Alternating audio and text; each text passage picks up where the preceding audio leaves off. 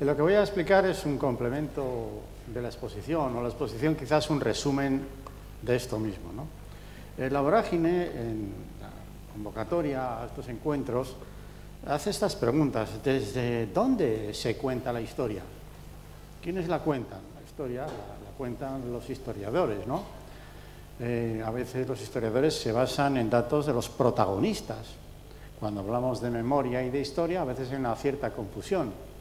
Yo suelo decir que tiene mucha importancia lo que diga el protagonista, si existe, si vive. Eh, además, el historiador juega un papel también, contextualiza los hechos, los analiza, los interpreta y nos los traslada. Pero en memoria reciente, fijaros todo el lío que tenemos en el País Vasco, tiene muchísima importancia lo que es el relato y lo que puedan decir los perjudicados a los que a veces llamamos víctimas. Segunda pregunta, ¿quién o quiénes construyen este relato de las violencias? Pues bueno, el relato específicamente parece que viene dado de estos familiares, de estas asociaciones que les representan, de esas personas a las que nunca se les preguntó. A nosotros nos sacan en la televisión y nos sacan en los periódicos, pero pocas veces se va a hablar con esa hija o esa mujer que siendo niña, como alguna vez me dijo una mujer, yo de niña creí que mi padre era un violador, un asesino, un ladrón, pero a medida que me fui haciendo mayor me di cuenta que me habían engañado, porque habían matado a mi padre. ¿Pero por qué le pegaban a mi madre? Si mi madre era una buena persona, y eso a medida que me hacía mayor era una realidad. ¿Por qué le insultaban a mi madre? Adquirió la conciencia de la injusticia al ver el sufrimiento de la madre. Al padre ni lo había conocido. ¿Tiene funciones judiciales el relato que nace de las víctimas? Debería tenerlas. Eso será una parte de la explicación que yo daré, porque es un poco en dónde estamos, para qué sirve todo esto y por qué, por ejemplo, en Colombia también, ya que esto parece que tiene esa extensión, se ha creado una, una unidad de búsqueda que no persigue que la información generada tenga aplicabilidad en los asuntos que se puedan imputar como hechos criminales a quienes los cometieron pero sí pretende auxiliar a los familiares en primer lugar. Bien, se puede criticar esto. ¿Y cuánto pesan los principios de verdad, justicia, reparación, garantías de no repetición que deben inspirar cualquier proceso de conciliación tras un conflicto violento? Bueno, pues esto quizás sea algo a lo que podéis responder al final de mi intervención. Hay que entender que en los últimos 20 años, desde el año 80, en que se abrió la primera fosa en Briananza del Bierzo, donde se creó la Asociación para la Recuperación de la Memoria Histórica, donde eh, quien promovió esto, que era Emilio Silva, dijo necesitamos historiadores y arqueólogos y antropólogos y forenses y etcétera. Y el ADN, ¿qué laboratorios hay? Desde aquel año 80 hasta ahora hemos hecho todo este recorrido y ha sido la reivindicación de los familiares la que ha estado por delante de las autoridades, se ha dicho prácticamente en la inauguración. Esto crea una empatía social, porque este movimiento, que es civil y que no lo inventó ningún partido político en origen, tras la empatía social se ha creado una implicación institucional. Nosotros al principio nos trataron como gente antisistema, que, a dónde íbamos a parar, de dónde salíamos, nos vinieron a preguntar a mí concretamente todos los partidos políticos en mi despacho, sentados, Echeverría, explíquese usted que, no, no estaban entendiendo ni siquiera los partidos políticos en sus estructuras qué es lo que estaba ocurriendo, pero afortunadamente hoy, 20 años más tarde, yo noto la implicación institucional, salvo las excepciones de, algunos raros que hacen comentarios ridículos como esto divide a los ciudadanos. Mentira, mentira, está probado. Esto, en fin, tiene sus frases hechas que además están probadas de la mano, por cierto, los antropólogos culturales y de los sociólogos, que son rigurosamente falsas. Bueno, y entonces, en vuestra pregunta, Está esto de la verdad, la justicia y la reparación. Hay que entender que esto va en este orden y no se puede alterar. Esto está jerarquizado. Tú no puedes llegar a hacer reparación si previamente no hay una implicación institucional de la Administración de Justicia. Y no puedes hacer este recorrido ni siquiera en lo que es la Administración de Justicia si no se conoce una verdad. Eh, en los lugares del mundo en donde se ha querido hacer un poco de verdad y un poco de reparación, han fracasado. Los lugares del mundo en donde se ha ido directamente a la reparación sin conocer la verdad, han fracasado.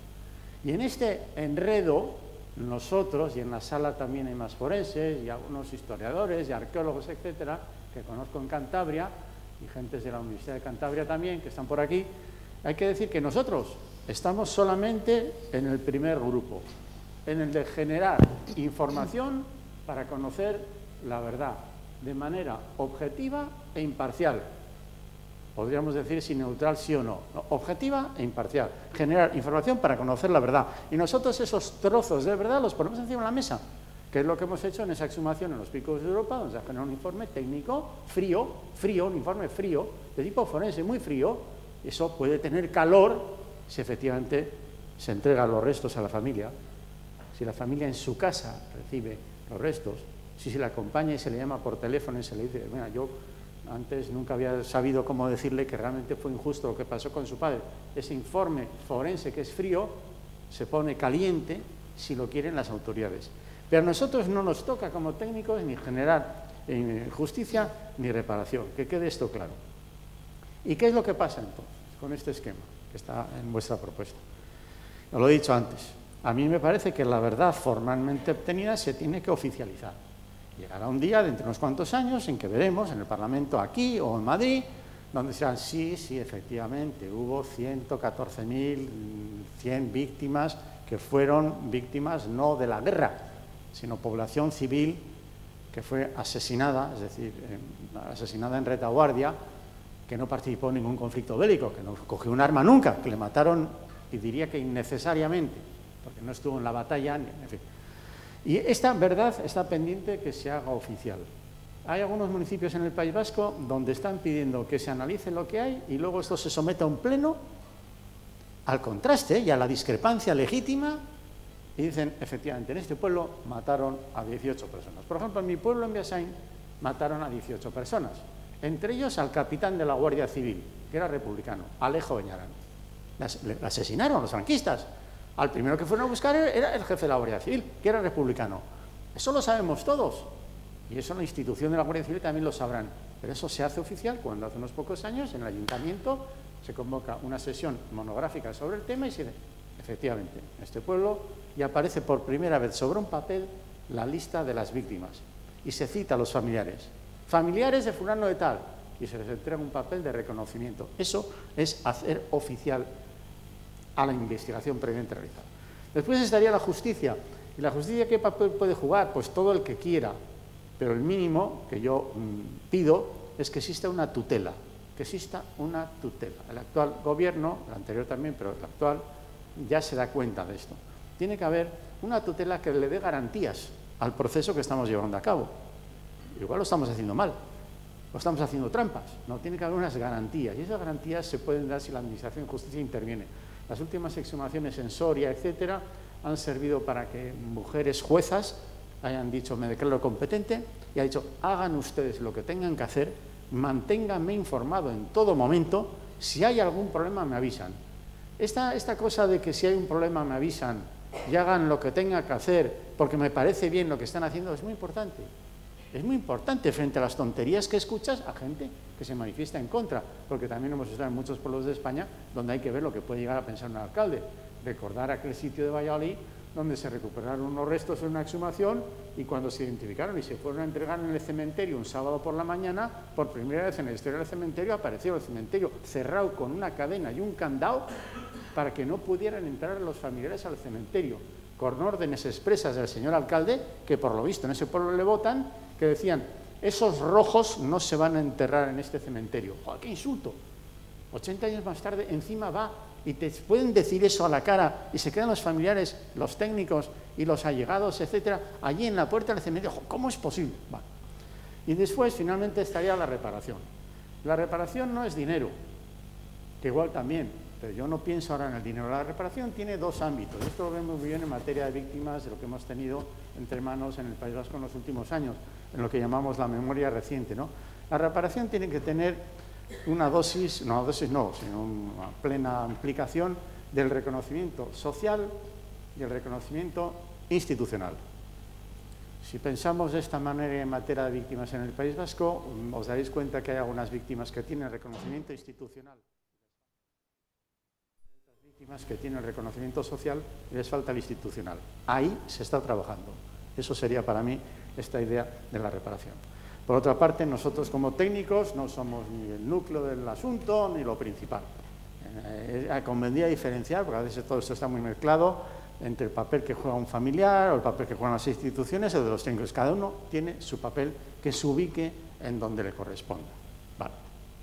Los equipos eh, funcionan de esta manera, hay una dirección, no me voy a meter ahora en una, dimensión que es muy documental, muy histórica y muy de archivo, y otra que es más de campo, de rescate, de exhumación, de análisis de laboratorio. Y fijaros que por encima de estos equipos hay que poner a las asociaciones de los familiares, las asociaciones de memoria histórica y por encima las instituciones. Esto de por encima las instituciones no siempre ha sido así. Ahora veremos las gráficas. ¿eh? Ha habido muchas veces en que se ha trabajado solo así. Lo lógico sería que esto fuera exactamente así. Por encima de todos nosotros tienen que estar estas instituciones. Bueno, esto podría ser porque lo digo yo o porque se me antoja. No, es que el relator de Naciones Unidas, cuando ya en el año 2014 eh, después de venir a España, consultó a todo el mundo, observó y miró, nos puso muy mal como país democrático y moderno de Europa. El, relator especial de Naciones Unidas, hay, cosas que, que, no comprende. En su texto, pues termina diciendo que expresa esa preocupación por el hecho de que Estado no haya hecho más, no haya hecho más para gestionar las exhumaciones, identificar los restos, especialmente cuando esto es técnica y materialmente posible o factible. Es que no lo entiende. Desde el año 2014 a la actualidad, Naciones Unidas ha consultado periódicamente a España. Las respuestas que le ha dado España son muy tristes. El último informe, no sé si es de septiembre del año 2017, creo que sí, no veas cómo nos ponen, insistiendo en Naciones Unidas en que se hace incomprensible la inacción del gobierno central y del Estado, que, dice como que no sabe nada sobre el particular. Bueno, increíble. Esto nos llevaría a la última resolución que hay, sí, esta es la de septiembre del 2017, ya lo he dicho, no, la voy a leer aquí para no aburriros. Y entonces nosotros, los que estamos en la ciencia forense, como he dicho antes, hemos descubierto que hay espacios para las catástrofes. España envía a profesionales forenses a Haití o al tsunami de, de Filipinas, es perfectamente posible, y nos movemos por el mundo con toda naturalidad y, por supuesto, para hechos recientes. ¿Y por qué no aplicar en todos esos mismos equipos, recursos, capacidades, laboratorios y etcétera a este espacio si es necesario en España? Eso es un poco lo que yo veo que cada vez también se hace más factible. Así, en estos 20 años, la memoria histórica ha ido creciendo, ha ido creciendo, sigue creciendo, está en expansión, este asunto está en expansión. Y esta memoria histórica siempre diré que se tiene que basar en el discurso de los derechos humanos, ya lo he dicho antes, ¿no? La base es esta, hay otros que dicen, no, la base tiene que ser la historia contemporánea o tiene que ser la cultura y la... para mí esto si tiene utilidad, lo tiene con un apoyo firme en lo que es el, mundo de los derechos humanos, respecto al cual tenemos mucho que aprender, y por cierto, por ejemplo, de Colombia. Y luego tiene lados, tiene lados, poner lo que queráis. Yo veo un valor simbólico extraordinario en lo que estamos haciendo, y por supuesto veo un lado que tendría que ser el judicial. Pero esto que empezó casi así, que era como una pirámide o un triángulo, ya no es un triángulo, es un polígono. Esto tiene un montón de caras. Vamos a ponerle cinco caras y podemos poner que es el lado simbólico, el judicial, el histórico, como no, y hasta el político. Y más, cada uno que le ponga además otro plano a este polígono, que como está en expansión sigue creciendo, además cada vez tiene más caras, por lo cual todas las disciplinas tienen algo que hacer aquí. ¿Y qué tiene que hacer un sociólogo? Pues puede hacer cosas. Y un profesor de enseñanza media puede hacer cosas y un antropólogo cultural tiene cosas para hacer. Y un bioquímico eh, también tiene cosas para hacer. Cada uno que se ubique en su potencialidad a la hora de al menos no mirar para otro lado, ¿no? de no declararse neutral, como dicen algunos. Bueno, nosotros el año 2018, con el gobierno que acaba de salir, pero bueno, en fin, eh, que estaba ya en el 18, nos pidieron, cuando se creó la Dirección General de la Memoria Histórica, nos pidieron un informe Vivieron a mí, yo organizo un equipo con unas 15 personas de toda España, un informe donde estamos hablando de cómo se tiene que archivar la documentación o cómo se tiene que analizar genéticamente esto. La cuestión está en que en diciembre de este año lo entregamos. Son muchísimas páginas y después ha habido una crítica al gobierno de Pedro Sánchez diciéndole que durante todo el 2019 no ha hecho nada. Pedro Sánchez o su equipo decían, hombre, es que en, presupuestos no tenemos una partida concreta. Hasta que no haya unos presupuestos en condiciones, tampoco podemos nosotros invertir en esto. Pero lo que hicieron a la hora de pedir la información es muy útil, porque peor hubiera sido que el gobierno actual hubiera empezado a intervenir en este espacio sin conocer lo que habíamos hecho en 20 años. Por lo tanto, para poder saber cómo vas a hacer las cosas bien o peor, o qué experiencias han sido positivas o negativas, primero es que hay que conocer lo que se ha hecho en 20 años. Es el informe que nosotros les entregamos. Sería la base a partir de la cual se pueden hacer políticas de memoria y se van a hacer concretamente ya en este año 2020 con total seguridad. Claro, luego uno se tiene que estar defendiendo constantemente, ¿no? Y dice, mira, empezamos el año 2000, pero las exhumaciones en España tienen una larga tradición, no somos pioneros en nada. Pero si en el tiempo de la propia guerra civil y para encausar a los republicanos en los crímenes que habían cometido, se estableció lo que fue la causa general a través de la cual se hicieron exhumaciones con los forenses de la época, con un país destruido. Y los forenses del año 39, del año 40, del 41, tuvieron que exhumar fosas y recuperar restos para tener la evidencia ante lo que fue esta causa general. Pasan los años, llegamos al año 58 y se inaugura el Valle de los Caídos. Y para el Valle de los Caídos se volvieron a sumar en España 33.000 esqueletos en los cementerios de la mano de los enterradores, pero con la implicación también de médicos forenses. No es ninguna tontería. Hombre, sobre todo esqueletos de aquellas víctimas que eran del lado franquista, pero ahora sabemos también que se llevaron del lado republicano para engordar las listas. La cosa es que en tiempo de dictadura también hubo una política exhumatoria importante. Pasan los años, se muere Franco y entre el año 75 y el 81, en que 150 guardias civiles asaltan el Congreso de los Diputados, con Tejero a la cabeza, en esa franja de años, Valencia, Soria, Navarra, y otros lugares más, hicieron exhumaciones de forma masiva. Los familiares no aguantaban más tiempo. Los familiares los sábados por la tarde abrieron fosas. Si no se hubiera producido lo del 23F del año 81, hoy día en España no quedaba una fosa. Porque en el año 81 a la gente se le cortaron las ganas de seguir haciendo las exhumaciones a la vista de lo que pasó en el Congreso de los Diputados. Eso ya está también, es bastante conocido, bastante estudiado. Hay una mujer de Palencia que se gastó, que vivió en el exilio toda la vida, tenía en su familia 15 desaparecidos y cuando volvió del exilio lo que fue es a buscar a su padre al monte y exhumó a 150 personas. Ella, se llama Esperanza Pérez, se gastó 300.000 pesetas de la época de sus propios ahorros. Dijo, esa mujer está loca. Esa mujer que vive hoy te explica, pero vamos a ver, pero si hemos entrado en democracia, yo tengo a mi padre enterrado en el monte, pero ¿quién me va a decir a mí qué mal estoy haciendo por recuperar mis, los restos de mi padre? En fin, son ejemplos que se dieron en los años 78 hasta el año 81. El 81 esto se para, se duerme y este ahí, que antes del año 2000 surgen las noticias de que el gobierno de España, a través del Ministerio de Defensa, pone en marcha un plan para buscar a los españoles que murieron en el frente soviético que lucharon con la División Azul. ¿Qué creéis que pensaron los familiares que tenían a su padre o su tío en las afueras del pueblo enterrar una cuneta a 100 metros de casa? O sea que España puede ir a la antigua Unión Soviética con unos equipos, por cierto, que eran alemanes, los que hicieron las tareas, ¿no? Puede ir y plantearse esta cuestión y yo no puedo sacar a mi padre que está aquí al lado. ¿Cómo es esta historia?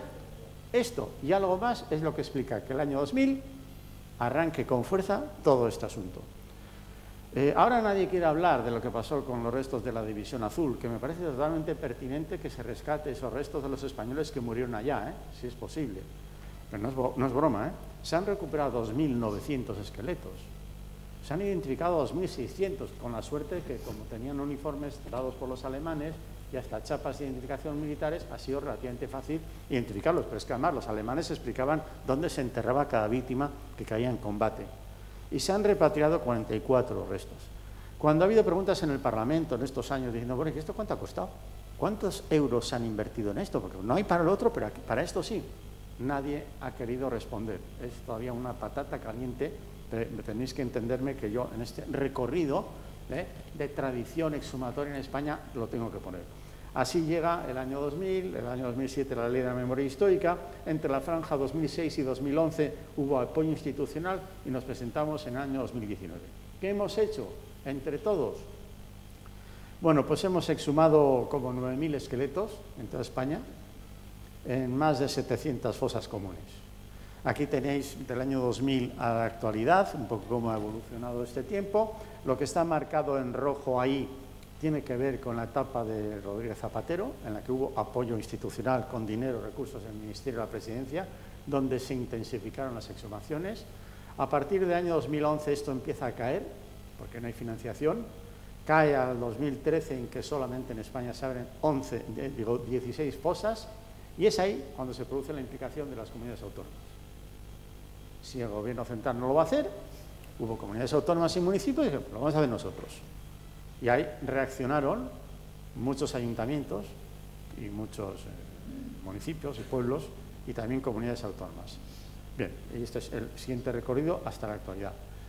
Quiero decir también lo que se gastó en dinero, lo que gastamos, lo que consumimos en la etapa de Rodríguez Zapatero. País, España en crisis, que tiene muchas necesidades. El 2006 se invirtió desde el gobierno de España 3 millones de euros mucho o poco, bueno, 3 millones de euros. Y esto creció hasta 5 millones 600 mil. Bueno, pero hay que decir una cosa. Solamente un tercio de ese dinero se utilizó para las exhumaciones. Porque claro, cuando uno va al extranjero y te dicen, no, es que vosotros habéis tenido para hacer exhumaciones el año 2008 casi 4 millones de euros. No, hemos tenido un tercio de los 4 millones de euros. Los otros dos tercios del dinero se han utilizado legítimamente para hacer una película, para escanear unos documentos en Moscú, para recoger unos testimonios en México, oye, para otras cosas, en las que no se necesitan ni forenses, ni bioquímicos, ni genetistas, totalmente legítimas. Y con todo, yo pongo esto aquí para deciros que lo que hemos hecho en exhumaciones, sabemos lo que hemos hecho, pero todo lo que se ha generado con los otros dos tercios del dinero, ¿dónde está? Es lo que me pregunto. ¿En, ¿En, qué archivo público está toda esa información para el debido uso de las futuras generaciones. Es que, es que este es el asunto que hemos explicado al gobierno actual, pero no puede volver a ocurrir, porque si utilizan recursos públicos para recuperar un documental de, unas fotografías que tenía una familia del Partido Comunista de España en la clandestinidad en Toulouse, ese material no se va a quedar luego perdido en la casa de no sé quién experto. Tendrá que irse al archivo, ¿no? Por ejemplo, de Salamanca, en el que dentro de 15 años sabes que eso está salvado a perpetuidad. Bueno, hay que hablar también del dinero y aquí tenéis la distribución de fosas. En Cantabria hemos abierto dos fosas en el transcurso de este tiempo, pues 13 en Asturias, 47 en el País Vasco, 48 en Navarra, muchas en Castilla y León. Nos impresiona mucho esto de Palencia y Burgos. Hay fosas en el monte que te quedas tieso, como las debe haber seguramente en Castilla-La Mancha. Lo que pasa es que en Castilla-La Mancha no, no hay impulso político de las instituciones, es como un enigma. Y con todo, esto lo tenemos punteado con exactitud, porque cuando nos metimos en la tarea también dijimos, a ver si va a ocurrir que dentro de otros 15 años se nos van a hacer la pregunta y no vamos a saber en España ni siquiera lo que hemos hecho. Porque eso es típico ¿eh? del país en el que vivimos. ¿eh? Por falta de coordinación se hacen cosas y 20 años más tarde ya, ya no sabes seguro si sí o si medio no. Esto me pone a mí frito. Bueno, la cuestión es que así, por eso lo hemos ido haciendo, como hemos podido, y tendríamos también el número de restos, para Cantabria se habrán recuperado cinco esqueletos y pues en otras comunidades, ya veis, han sido hasta 1800, etc. Aquí, para no aburrir, pues tenemos las 740 fosas, que si añadimos lo que ha sido en los últimos meses, estos son más, 9.000 esqueletos, ya está dicho con esa distribución, y lo tenemos así por comunidades autónomas, fosas sin número de individuos, etc. Bueno, has hablado antes de Reyes Mate. Claro, es que durante todo este tiempo hemos necesitado que otras personas también pensaran. ¿eh? Como puede ser Reyes Mates, es un filósofo que hay que perseguirle la pista. ¿eh? Eh, cuando él dice, esto es muy sencillo, si las víctimas tienen derecho a la memoria, ¿alguien está en desacuerdo? Ni de derechas ni de izquierda, pues están en desacuerdo. Las víctimas tienen derecho a la memoria. Las víctimas del terrorismo de ETA tienen derecho a la memoria. Las víctimas de otros terrorismos también. Las víctimas, las mujeres víctimas de la violencia de género, tienen derecho a la memoria. Si eso es así, para cualquier víctima aquí en Colombia, eso significa que los demás, la sociedad, tenemos el deber de memoria. ¿Lo has dicho? ¿Lo habéis dicho vosotros? Es, así. Tenemos el deber de memoria en tanto que otros tienen el derecho.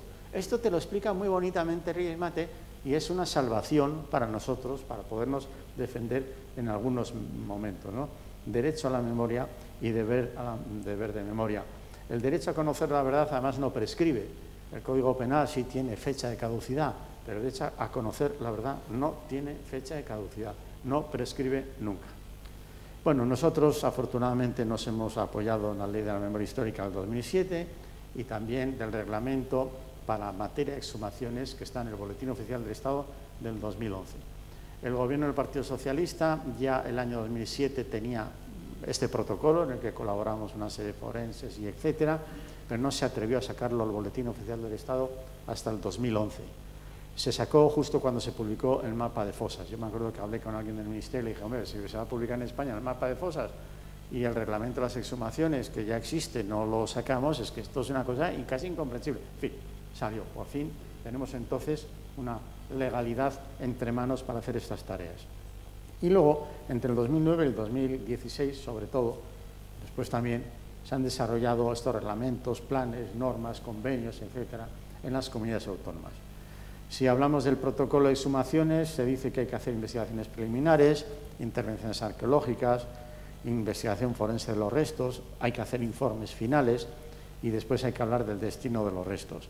Se necesitaría en materia de exhumación expertos en antropología forense, expertos en biología forense, expertos en patología forense y, si fuera posible, también odontólogos forenses. Eso más o menos lo tienen los diferentes equipos que están interviniendo. Si no nos vale de manera suficiente el protocolo de exhumaciones del 2011, habrá que recordar que está el protocolo de Minnesota, que se ha actualizado en los últimos años y que es la herramienta de Naciones Unidas que se tiene que aplicar en esta materia. Esto bien, bien que lo saben en Colombia. Luego, muy recientemente también se han hecho otra serie de recomendaciones. Esta es de abril de 2019 y viene Naciones Unidas. Y yo he querido preguntarme si lo que hemos hecho en España se ajusta o no a esto que es de hoy, del año 19. Bueno, que dice lo siguiente, no voy a leer todo, pero la búsqueda de una persona desaparecida debe realizarse bajo la presunción de que sigue viva. La búsqueda debe respetar la dignidad humana. la búsqueda debe usar la información de manera apropiada. La búsqueda debe ser coordinada. La búsqueda debe interrelacionarse con la investigación penal.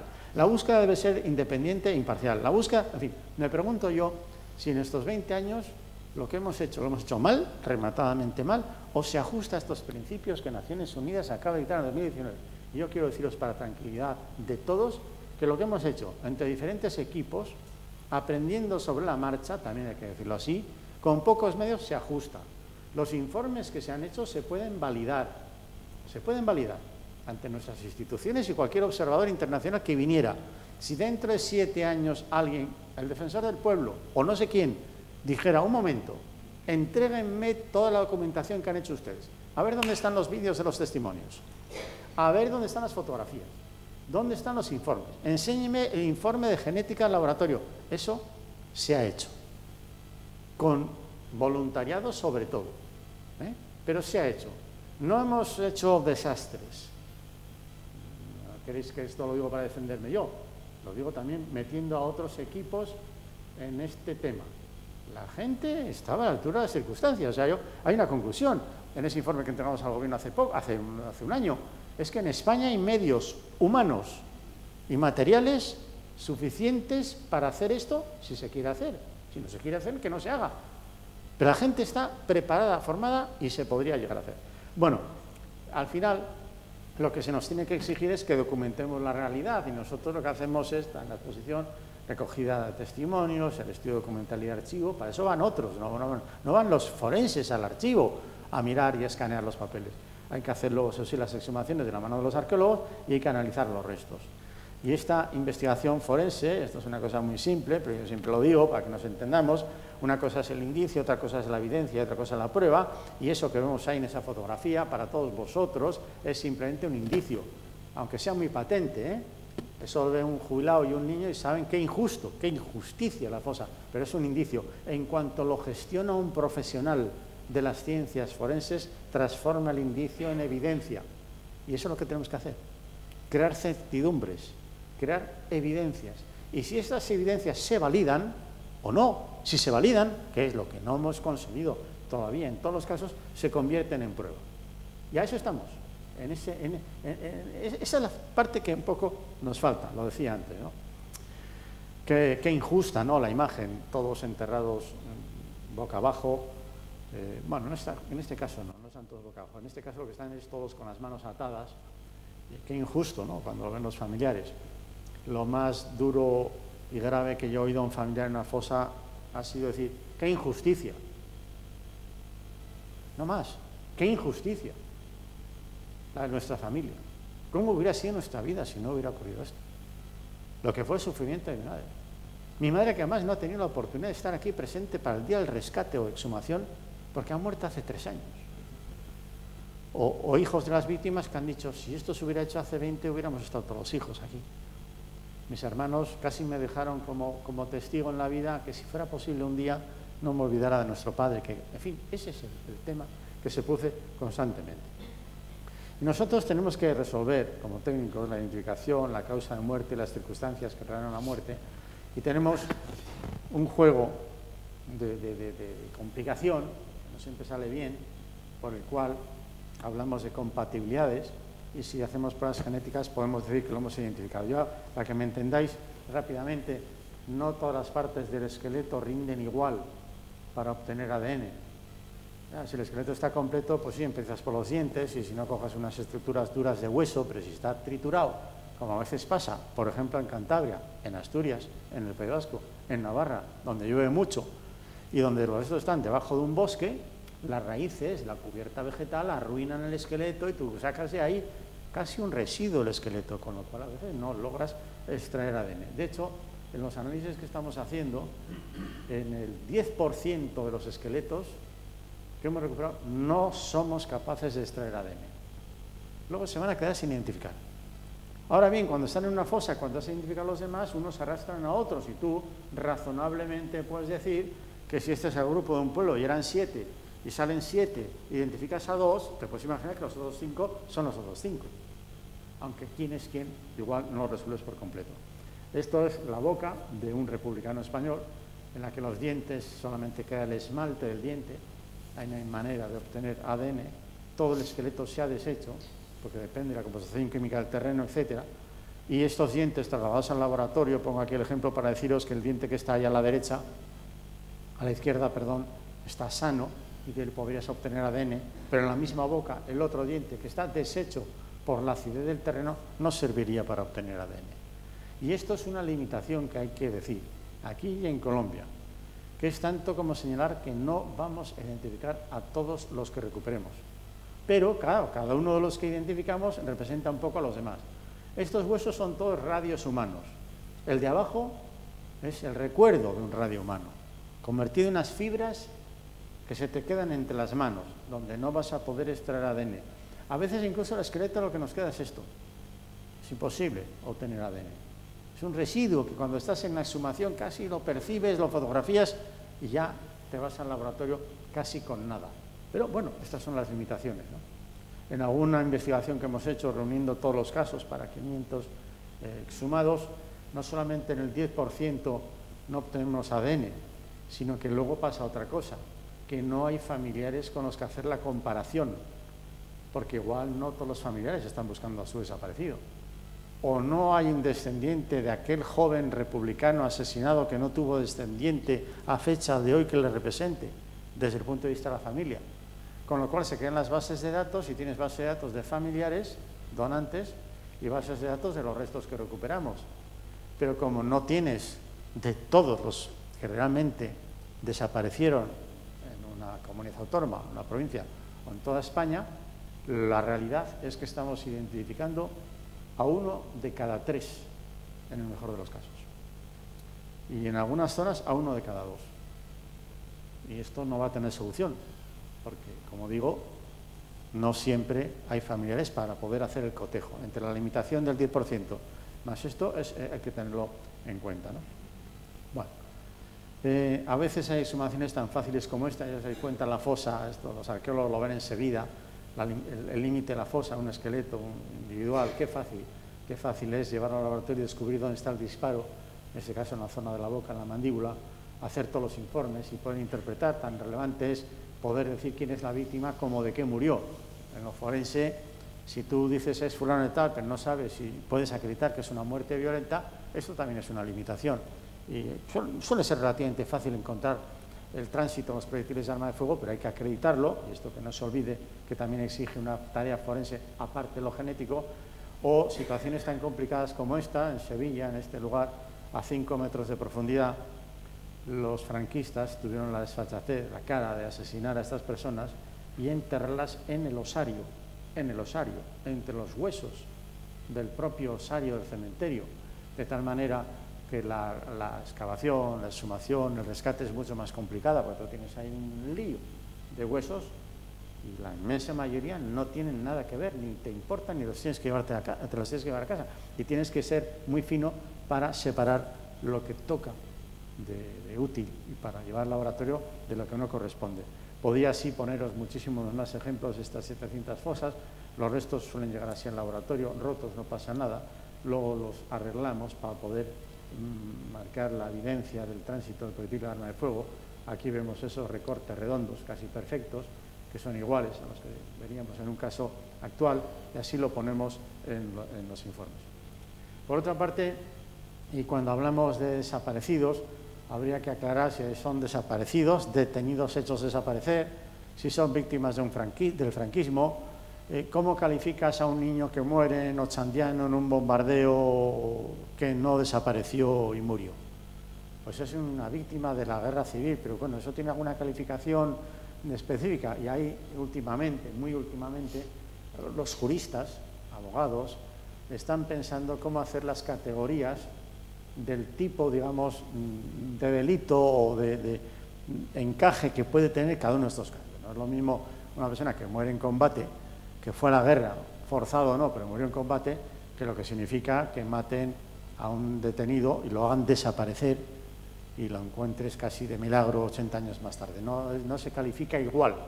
Y esto es una cuestión que conviene tener en cuenta, porque es todo, todo como una mezcla. ¿no? Y además tenemos restos en cementerios, restos en fosas clandestinas si mezclamos lo que han sido hallazgos de restos en trincheras o restos en cementerios o extramuros de los cementerios eh, con detenidos hechos a desaparecer, pero otros que no, que han muerto en combate, evacuados del campo de batalla al cementerio, lo que hay es un auténtico laberinto, incluyendo una cosa que nunca pensé que podíamos eh, ocuparnos, muertos en custodia, muertos en las cárceles.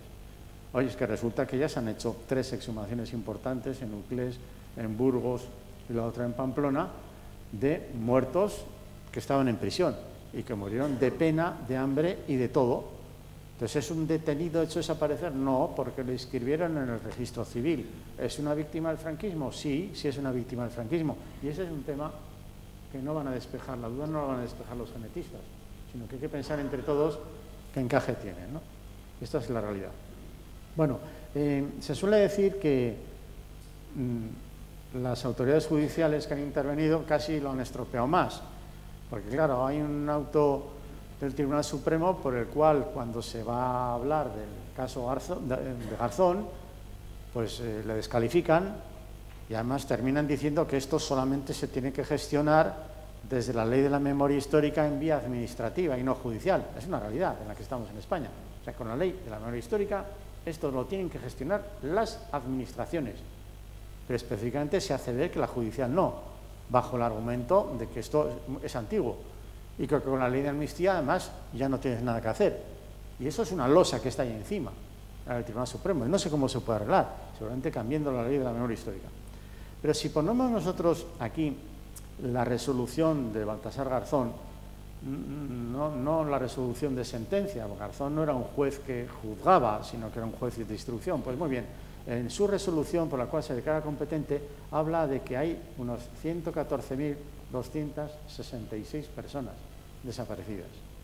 Este listado puede tener algunos errores, pero es la primera vez que, por otra parte, vemos un listado hecho desde una estructura administrativa, judicial, como la, la de la instrucción.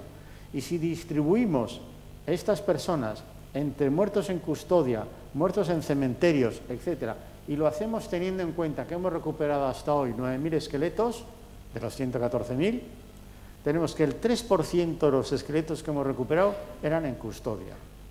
eran detenidos desaparecidos, enterrados en cementerios o en fosas comunes el 89%. Y muertos en combate, que han aparecido por ejemplo en Vizcaya, sí, suelen aparecer, el 6%. ¿Eh? O sea, la mayoría de los casos siguen estando entre el universo de los detenidos desaparecidos. Hace años utilizaba este esquema para decir que yo creo que nunca llegaremos ni al 20% del total. Hay zonas donde ya prácticamente la tarea está dominada, Navarra, País Vasco, Mallorca, el tema está ya controlado a propósito de lo que queda por hacer. Hemos hecho lo más fácil, quizá también, pero ya no hay tanta fosa, porque se han desbaratado, ya no existen. Pensemos el ejemplo aquellos de Asturias que los arrejaron por un acantilado. recuperamos solamente a una mujer, porque el, cadáver, el, agua devolvió el cadáver a la playa y en el pueblo llevaron el cadáver al cementerio. Los demás que acompañaban a aquella mujer no se encontrarán nunca. ¿no? Yo pienso entonces que ni el 10 o el 20% del total de los 114.000, por decir una cifra, serán eh, recuperables realmente por todas estas incidencias. Nosotros estamos en ese espacio de los derechos humanos, existe el espacio judicial, se ha dicho que hay que crear una comisión sobre la verdad, esto que viene a continuación es un poco rollo.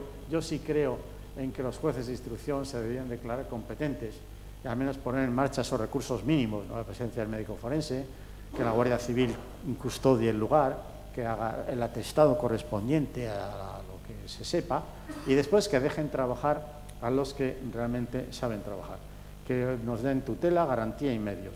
Aquí tengo, no la voy a leer eh, literalmente, pero os digo, el año 2009 la jueza de Sala de los Infantes eh, se declaró competente, y dice, dice lo siguiente, ¿no?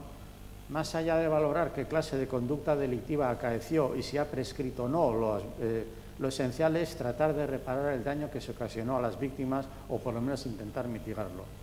En una sociedad con un derecho penal, en cambio, en el que se está abogando por dar mayor protagonismo a la víctima de los delitos y sus familiares, se debe intentar favorecer que cualquier víctima pueda cicatrizar sus heridas y superar la victimación secundaria que se produce cuando se sufre un delito. Por lo tanto, y para no conculcar el principio de igualdad que rige nuestro ordenamiento, estas personas, con independencia del tiempo transcurrido, deben tener la oportunidad de ser reparadas o compensadas si así lo desean, por los hechos delictivos sufridos en las personas y sus familiares. Y continúa el acto diciendo, por lo tanto, hágase lo que hay que hacer.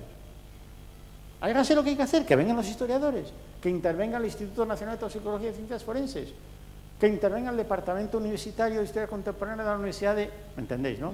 Hagan lo que tengan que hacer, que me parecerá bien lo que están haciendo.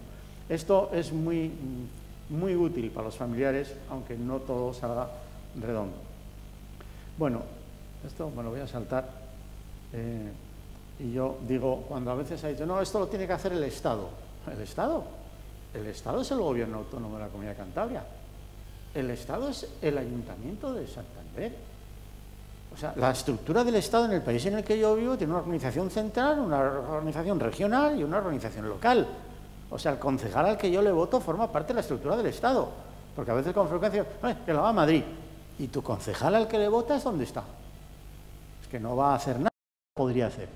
¿Y por qué pongo yo este ejemplo con este joven miembro de la Guardia Civil que no tiene culpa de nada?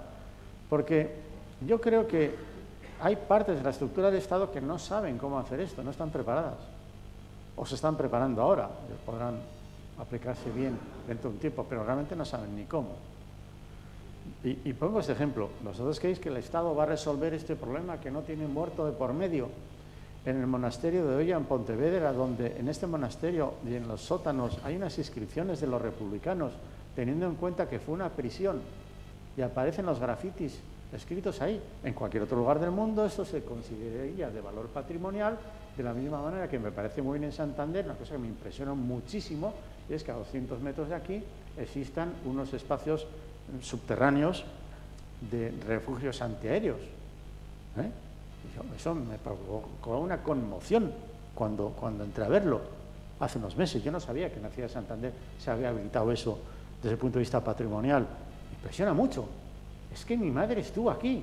Es que mi madre tuvo que huir de Guipúzcoa a Bilbao y de Bilbao a Santander y de Santander al exilio. Estuvo en Santander. Es que mi madre igual estuvo a un metro y medio de ese subterráneo. Perdóname que os lo diga así. me alegra mucho saber que en Santander, porque esto yo no lo he visto en otros sitios, tienen un, recuerdo de lo que fue aquello y es conmovedor meterse ahí dentro, imaginarse a los que pasaron en su momento.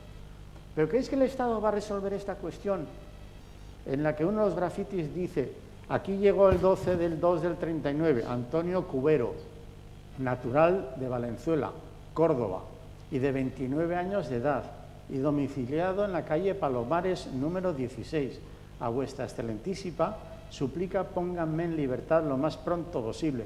Santa María de Olla a 14 de abril de 1939. Es que un chaval, con 29 años, de Córdoba, que estuvo en Pontevedra, dejó una inscripción en la pared. El Estado va a ir a buscar, fijaros qué fácil, ¿eh? A la calle Palomares, número 16, en el pueblo de Valenzuela, Córdoba. Si está así de fácil, cogemos la vía telefónica y casi lo encontramos nosotros. ¿El Estado va a hacer eso? No, no lo va a hacer. Esto es un ejemplo de otro montón de cosas que el Estado no lo va a hacer y pienso yo que si no lo hacemos entre todos no lo hace nadie. El Estado necesita además que esto lo hagan departamentos universitarios, gentes de ciencia, asociaciones y etcétera. ¿eh? Y este sería un ejemplo casi insignificante de lo que puede representar que tú tuviste a tu tío, abuelo, el hermano de no se sabe quién, ¿eh? el tal Antonio Cubero, y te enteres que el otro lado de la península dejó en una pared escrito esto que estamos viendo aquí, esto, esto, esto le importará a la familia. ¿no? Y así estamos. Y para ir finalizando, os diré que para que todo esto funcione bien desde el punto de vista de las implicaciones institucionales, sociales, etcétera, y cuando hablamos en lo que es la pirámide estratégica no forense, se tiene que cumplir el principio de legalidad ahí abajo que en España está resuelto. Hay una ley de la memoria histórica con estándares de ética profesional, certificación, validación, acreditación, titulación de los profesionales.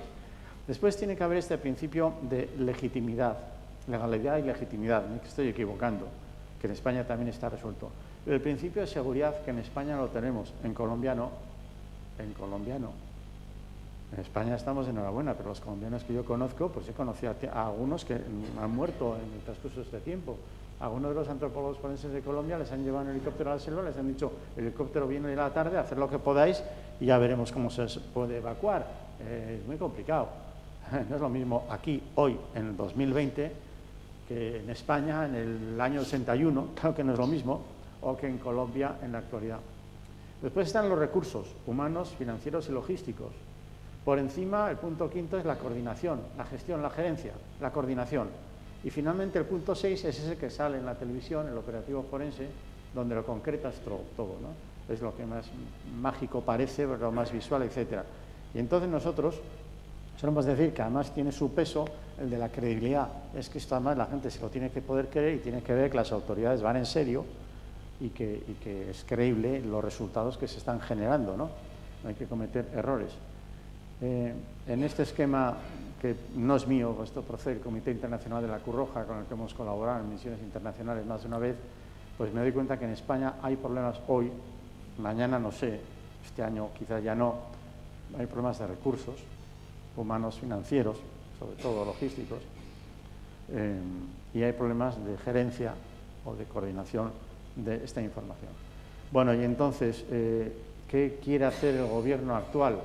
Creo yo que sí, se ha hablado en reuniones en Madrid, el gobierno actual quiere implicarse con un mayor liderazgo, mm, dando un impulso, hay decisiones políticas muy firmes, y favoreciendo la coordinación, dejando hacer a las comunidades autónomas que ya están haciendo o ayudando a aquellas comunidades autónomas que tengan algunas necesidades porque les falle algo, recuperando un poco la experiencia de los 20 años. ¿Para qué? Pues para hacer una base de datos para un censo, hacer un censo, un censo, un censo en el que se sube la información que ya historiadores de Cantabria han hecho, con la información que viene de otros sitios, no sé que estemos duplicando a un ciudadano vasco que está en las listas de aquí y en las de allá, y al revés también. ¿no? Por lo mismo, un repositorio de ADN, los laboratorios que están haciendo los análisis seguirían haciéndolos, pero además tendría que haber un repositorio, es decir, un lugar en Internet al que solo acceden los laboratorios, donde se suman los perfiles de genética y así puedas hacer quizás el más de un individuo que es asturiano y que murió en Vizcaya y que le están buscando no se sabe dónde. ¿no? Si no, no va a tener solución. Y después crear una base de datos documental. Esto sería el archivo de Salamanca, donde todo lo que estamos haciendo con, formato digital habría que entregarlo allá, precisamente para que quede a perpetuidad esta información. Esto es lo que está pensado eh, contando con esa experiencia, ya lo he dicho, las comunidades autónomas y ayudando a aquellas que, quieran sumarse. Quizás el modelo al que vamos ahora, en el punto estrictamente forense, no es que deje a un lado a las asociaciones de memoria histórica, sino que establezca una relación directa, no a través de las asociaciones, sino una relación directa entre las instituciones y los equipos que tienen que llevarlas a cabo. el modelo, por poner uno que no sea el del País Vasco, voy a poner el de Baleares. Baleares coge y dice, ¿qué hay que hacer aquí? ¿Quiénes lo pueden hacer? Y, las asociaciones tienen que opinar. ¿eh? Pero no es como el modelo que se hizo en el tiempo Rodríguez Zapatero, donde recursos humanos se daban a las asociaciones de memoria histórica, las cuales luego se iban a buscar equipos y gente. Y te encontrabas con que había agrupaciones de familiares que habían ido a un notario, les habían dado pues 16.000 euros para hacer una serie de tareas y tenían todas las pegas del mundo para ejecutar el gasto, para justificar, para pagar el IVA, la retención del IRPF y yo qué sé, qué cosas más. Ese modelo puede que cambie y quién sabe si el Gobierno central licite, saque a concurso y nos presentemos todos en un equipo de profesionales, al fin y al cabo nos conocemos, para coger y decir, bueno, tienen que ir un equipo, tú, este, este, aquel, y a Ávila, a Ávila el lunes. Tenéis una fosa de unas 15 personas. Y cuando acabéis la tarea, os toca tener que ir a un lugar de La Rioja, donde... No sé si ese será el modelo. Yo siempre he creído en esta discusión de montar las comisiones de la verdad, lo que dijo Amnistía Internacional el año 2006. Y por esto me critican mucho, y me vais a criticar luego seguro también algunos de los presentes. Yo creo que sería bueno crear un órgano oficial temporal de carácter no judicial. Fijaros lo que os estoy diciendo. De carácter no judicial. Es que en Colombia la creación de la comisión de búsqueda es de carácter no judicial.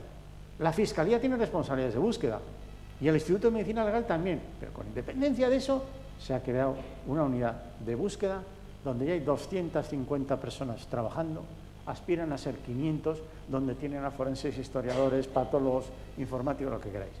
Bueno, crear entonces un organismo no judicial con el mandato de investigar y calificar los abusos graves cometidos durante la Guerra Civil Española en el régimen franquista, según el derecho internacional, y cuyo objetivo debe ser contribuir al esclarecimiento de la verdad sin sustituir, eso sí, el legítimo derecho que tiene cada familiar de ir también detrás de esto a la jurisdicción penal, si quiere, si quiere. Y este es un modelo eh, planteado por un informe muy amplio de Amnistía Internacional, que seguramente mucha gente ni ha leído, yo creo que sigue siendo válido y que es lo que se tendría que hacer. Eh, para Cantabria, hace bien poco hemos publicado el mapa de fosas, esto se puede mejorar, aquí hay una primera idea, esto se hizo así porque el Gobierno de Cantabria le pidió a una serie de profesores de la Universidad de Cantabria que hicieran este esfuerzo. Ya hay, por lo tanto, una serie de ideas que parten también de textos que se habían publicado previamente y antes hemos hecho, recuerdo, a Lord Campillo, que ha sido una intervención que hemos llevado a cabo en los últimos meses, en donde se han recuperado los restos y donde estuvo presente eh, Prado Zuluaga y también eh, Zoraida, estuviste allí. Bueno, eh, es de agradecer esa, esa comprensión, esa proximidad, esa naturalidad. Quizás los últimos 20 años han servido para demostrar que esto se puede hacer de manera natural, casi como una cosa ordinaria, que duro es decirlo así, frente a otros que no lío, ¿eh? divide al ciudadano. Pues no es así de ninguna manera y se puede hacer de manera bastante natural eh, si, si, queremos entre todos. Y esto es todo. Aquí estaría la cima y las preguntas de la vorágine siguen pendientes ahí. Cada uno tendrá su propia opinión y con esto he acabado. Gracias.